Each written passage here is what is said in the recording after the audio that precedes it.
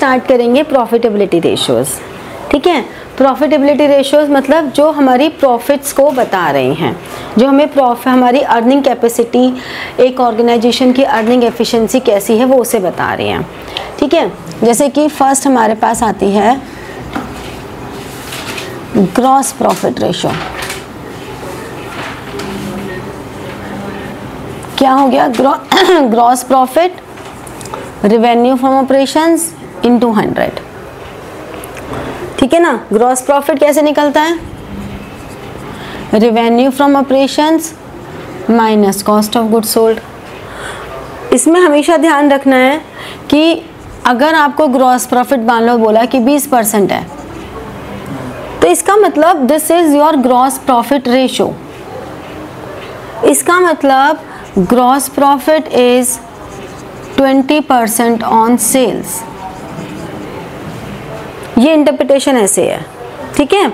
अगर तुम्हें बोला हो gross profit is 20 percent on cost तो इसका मतलब हो गया one fifth on cost that is one six on sales ठीक है? ये लॉजिक्स वही है जो हमारे चले आ रहे हैं। ये रेशो जितनी ज़्यादा होगी जितनी भी प्रॉफिटेबिलिटी रेशियोज हैं, उतना ही अच्छा होगा। प्रॉफिटेबिलिटी रेशियोज हमेशा जितनी हाई होंगी वेरी ऑब्वियस है कि हमारी प्रॉफिट अर्निंग कैपेसिटी उतनी अच्छी है। एक ऑर्गेनाइजेशन की अर्निंग एफिशिएंसी उतनी अच्छी है। ठीक है? नेक्स्ट हमारे पास आती है net profit ratio net profit ratio होता है net profit after tax. Upon revenue from operations into 100 ठीक है? बट इसमें भी ध्यान रखना, अगर क्वेश्चन में लिखा हो कि नेट प्रॉफिट रेशो निकालनी है प्री टैक्स तो अगर प्री टैक्स निकालनी हो ना तो फिर हम जो नेट प्रॉफिट लेंगे, ये बिफोर टैक्स लेंगे। तो ऐसा नहीं है कि ऐसे पूछ नहीं सकते। पूछ तो सकते ही हैं। कि net profit pre tax net profit ratio निकालो।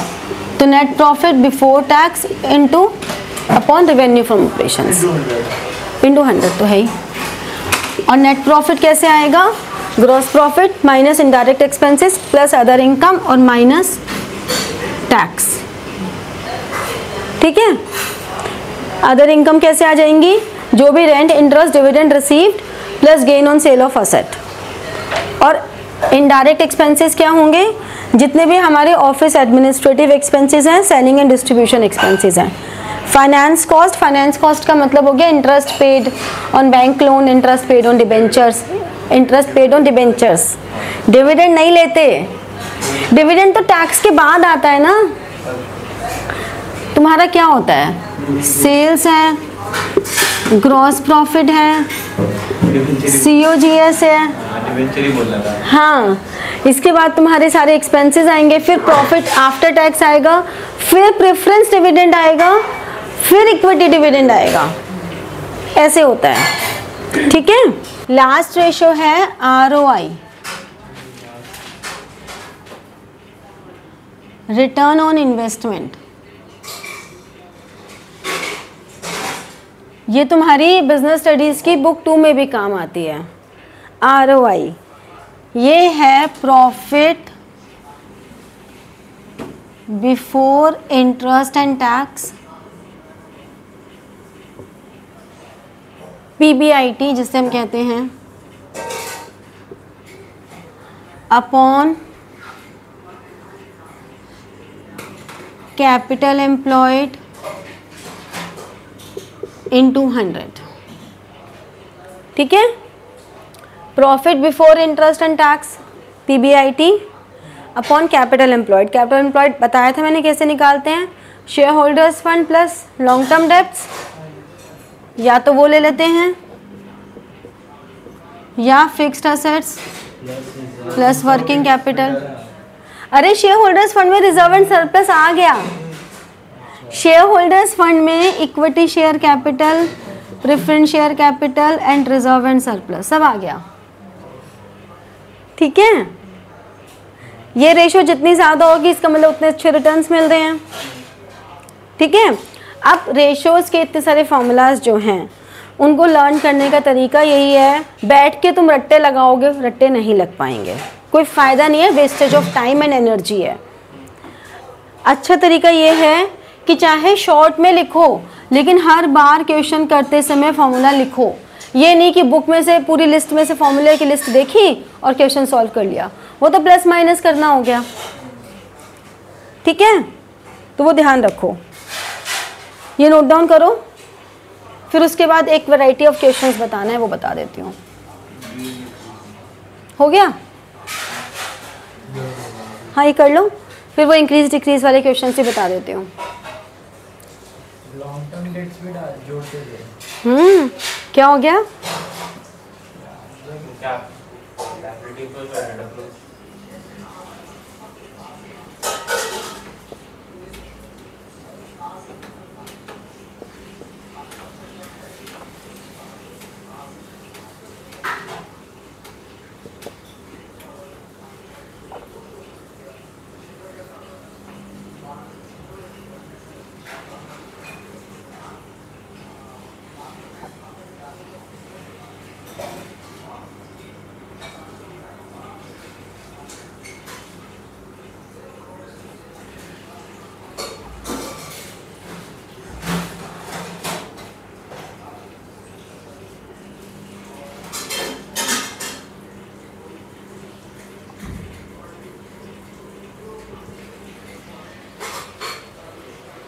हो गया नोट डाउन ऊपर का?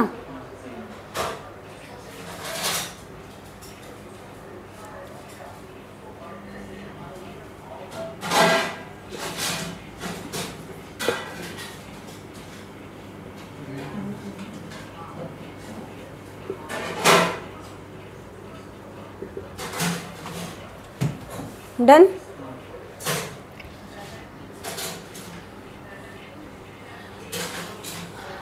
अब एक वेराइटी ऑफ़ क्वेश्चन आती है कि चाहे कोई भी ratio current ratio liquid ratio proprietary ratio gross profit turnover कोई भी रेशो हो, उस रेशो में कोई ट्रांजेक्शन्स हैं, उनसे वो रेशो इम्प्रूव होगी डिक्लाइन होगी या नो चेंज होगा। तो आपको उसके वेरिएबल्स पता होने ज़रूरी है। मतलब वेरिएबल्स मतलब उसके कंपोनेंट्स क्या हैं न्यूमरेटर और डिनोमिनेटर में। बहुत बेसिक मैथमेटिकल रूल है। कि अगर न्यूमरेटर इंक्रीज होता है तो रेशो इंक्रीज होती है। और अगर न्यूमरेटर डिक्रीज होता है तो रेशो डिक्रीज होती है। ये बहुत बेसिक मैथमेटिकल रूल है, ठीक है? और अगर हम डिनोमिनेटर की बात करें तो डिनोमिनेटर इंक्रीज होगा तो रेशो और डिनोमिनेटर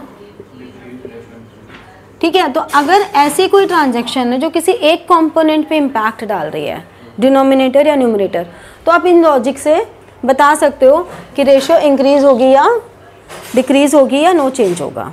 ठीक है? लेकिन अगर कोई भी ऐसे कंपोनेंट्स हैं, कोई भी ऐसी ट्रांजेक्शन है जो दोनों पे इम्पैक्ट डाल रही है तो लॉजिक वहाँ पे भी लग सकते हैं मैथमेटिकल उसमें कोई दिक्कत नहीं है। लेकिन the best way is to solve it out जैसे कि यहाँ पे हमने कहा इशू ऑफ़ इक्विटी शेयर्स हमने रेशो एज्यूम कर लिया थ्री इज़ टू वन इस बात का भी ध्यान रखना थ्री इज़ टू वन है टू इज़ टू वन है वन इज़ टू वन है zero point seven is to one है zero point five is to one है. ज़रूरी नहीं है कि जो थ्री इज़ टू वन की रेशो का इम्पैक्ट होगा, वही zero point five is to one पर भी हो. मतलब अगर रेशो की वैल्यू चेंज है तो उससे आपकी जो फाइनल आंसर है, वो भी चेंज हो सकता है. तो रटना मत कि इस ट्रांजेक्शन से तो यही इम्पैक्ट आएगा? ठीक है? जैसे कि इश्यू ऑफ़ इक्विटी शेयर्स है अब। तो इश्यू इक्विटी शेयर्स का मतलब क्या हुआ? कैश इंक्रीज हुआ मतलब करंट असेट्स इंक्रीज हुए।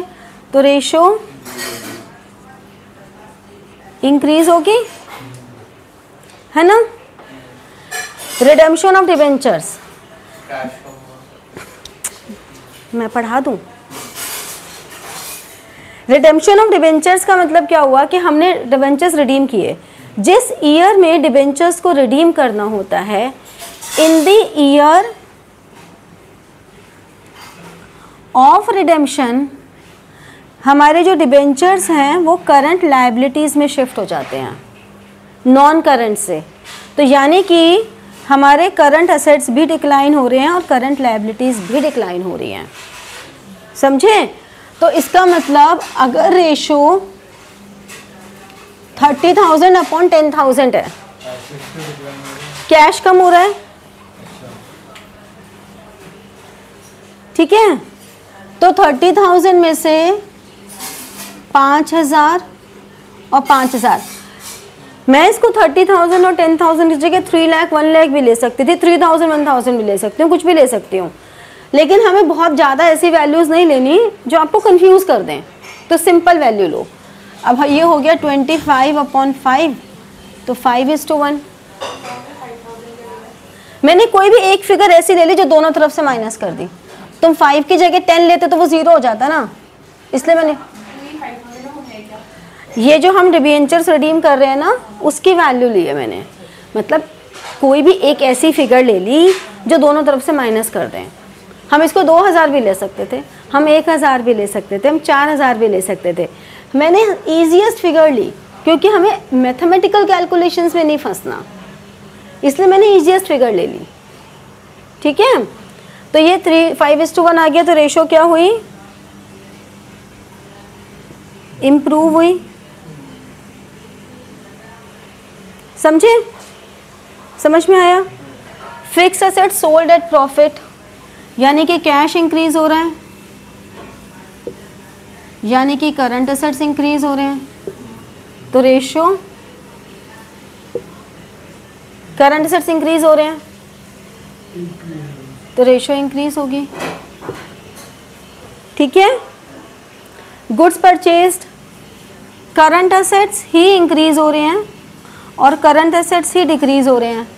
क्योंकि गुड्स भी हमारी करंट असेट्स हैं और कैश भी हमारे करंट असेट्स हैं। तो करंट असेट्स ही इंक्रीज हो गए और करंट एसेट्स ही डिक्रीज हो गए। तो रेशो में नो चेंज ठीक है?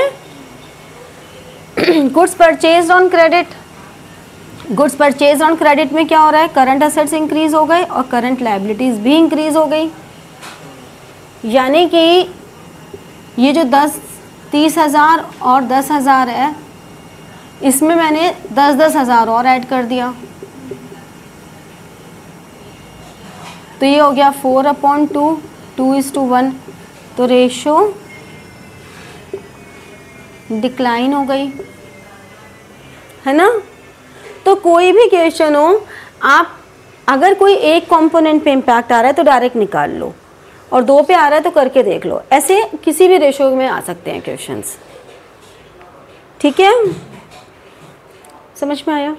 थैंक यू और good luck to all of you share subscribe the channel and press the notification button पर नोटिफिकेशन बटन को प्रेस करना क्यों ज़रूरी होता है? इसलिए ज़रूरी होता है क्योंकि फिर मैं जो आगे वीडियोस डालूँगी तो आपके पास नोटिफिकेशन आ जाएगा। ठीक है ना? और सब्सक्राइब करना भी इसीलिए ज़रूरी होता है कि सब्सक्राइब करोगे तभी तो मुझे भी तो मोटिवेशन चाहिए ना कि भाई मेरे सब्सक्राइबर्स बढ़ रहे हैं। सेंस ऑफ़ अकम्पलिशमेंट तो मुझे भी चाहिए ना कि मेरे सब्सक्राइबर्स बढ़ रहे हैं। तो अगर तुम वीडियो देखोगे लाइक नहीं करोगे कमेंट नहीं करोगे तो मेरे को मोटिवेशन कैसे मिलेगा? और मुझे नहीं मिलेगा तो मैं तुम्हें कैसे दूँगी? है ना? तो इसलिए कमेंट भी करो लाइक भी करो सब्सक्राइब भी करो शेयर भी करो, ठीक है? और नोटिफिकेशन वाला बेल बटन भी प्रेस करो। Thank you